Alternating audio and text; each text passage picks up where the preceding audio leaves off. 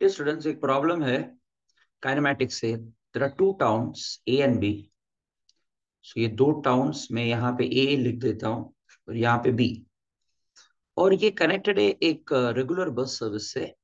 और बस हर एक टी मिनट्स में दोनों स्टेशन से दूसरे साइड की ओर जा रहा है। और एक मैन है जो साइकिल कर रहा है twenty kilometre per hour A से बी तक।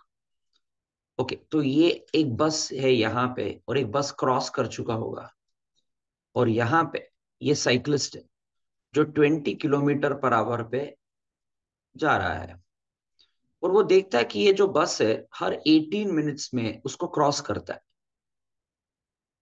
और ऑपोजिट डायरेक्शन में सिक्स मिनट्स, वो सेपरेटली ड्रॉ करेंगे।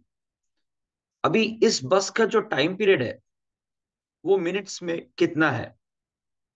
और जो स्पीड है, ये भी कैलकुलेट करना है ओके तो इन टाइप के प्रॉब्लम्स के लिए हम लोग रिलेटिव वेलोसिटी का यूज़ करेंगे। क्योंकि रिलेटिव वेलोसिटी से अगर आप इस प्रॉब्लम को सॉल्व करेंगे तो काफ़ी सिंपल हो जाएगा। और रिलेटिव वेलोसिटी हम इसलिए यूज़ करेंगे क्योंकि यहाँ पे जो बस का स्पीड है, वो साइक्लिस्ट फ्रेम ऑफ़ रेफरेंस से एक्सप्लेन किया गया है, इसलिए हम वो चूज़ करेंगे। तो पहला तो हम लोग क्या करेंगे कि ग्राउंड फ्रेम ऑफ़ रेफरेंस से इसको जरा सॉल्व कर दे तो इसके लिए एक बेसिक कंसेप्ट ये है समझना कि कुछ फ़िज़िकल क्वांटिटीज होते हैं जो फ्रेम ऑफ़ रेफरेंस पे डिपेंड नहीं होती। इस बात को समझने के लिए थोड़ा सा मैं एग्ज़ाम्पल लेता हूँ कि मान लो एक ट्रेन है यहाँ पे और ये ट्रेन यहाँ से जा रहा है कुछ वेलोसिटी वी पे और एक आदमी है यहाँ पे और एक बक्सा यहाँ पे रखा हुआ है और इसके बीच में कुछ डिस्टेंस है लेट्स से डी ओके तो ट्रेन फ्रेम ऑफ़ रेफरेंस में ये जो बक्सा है, उसको डी डिस्टेंस पे दिखाई देगा। अगर हम एक ग्राउंड ऑब्जर्वर ले लेते हैं तो ग्राउंड ऑब्जर्वर भले ही ये ट्रेन आगे मूव करता हो बट दोनों मैन और ऑब्जेक्ट के बीच का जो डिस्टेंस है, वो उसको हमेशा डी ही दिखाई देगा। जैसे वो आगे आ रहा है डी डी डी डी ऐसे दिखाई देगा। इसका मतलब है कि जो डिस्टेंस है it is independent of the frame of reference okay so that's an important concept here इस प्रॉब्लम को सॉल्व करने के लिए। तो अगर मैं ग्राउंड फ्रेम ऑफ़ रेफरेंस में इन दोनों बसेस को देखूँ तो इनके बीच में कुछ डिस्टेंस रहेगा। उस डिस्टेंस को मैं ले लेता हूँ डी और मान लेता हूँ कि बस जो है, ये वी वेलोसिटी से ट्रेवल कर रही है। तो मैं लिखूँगा velocity equal to distance upon time time तो टी मिनट्स है, हर टी मिनट्स में बस जा रही है। तो मेरा पहला इक्वेशन होगा D equal to V into T first equation अभी हम साइक्लिस्ट फ्रेम ऑफ़ रेफरेंस में आ जाते हैं। मैं कहूँगा कि velocity of the bus as seen by the cyclist that is equal to velocity of the bus minus velocity of the cyclist जो है twenty kilometre per hour okay और दोनों सेम डायरेक्शन में, इसलिए दोनों पॉजिटिव है।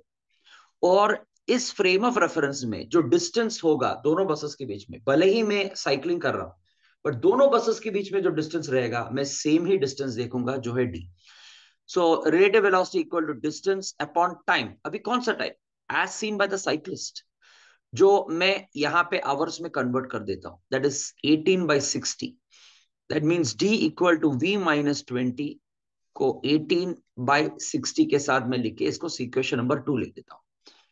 अभी दूसरे वाले केस में आप देखोगे कि बस उल्टा डायरेक्शन से आ रही है.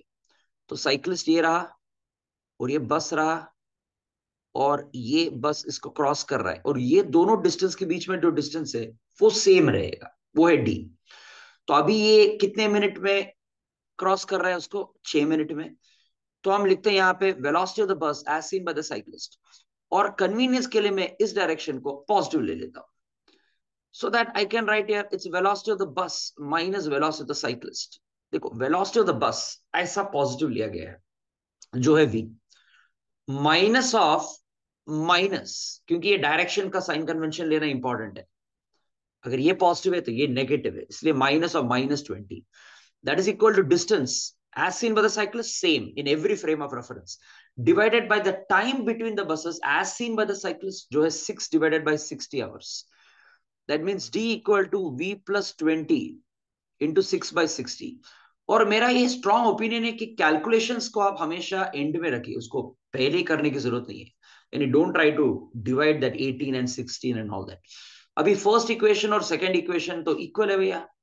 तो अगर ये दोनों इक्वल है तो मैं लिखूँगा v minus twenty into eighteen by sixty that is equal to v plus twenty into six divided by sixty six directly cancel होता है सिक्सटी और ये थ्री होगा।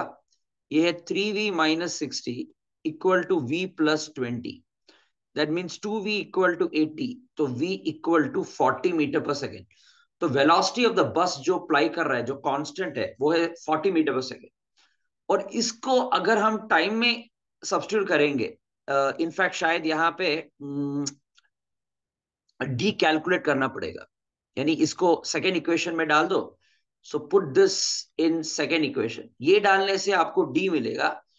और उसको आप वापस इस इक्वेशन में डाल दो तो आपको टाइम मिलेगा। और ये टाइम मिलेगा आपको इस तरह से nine minutes okay so that's the answer so hope that this discussion has answered your question thank you so much for watching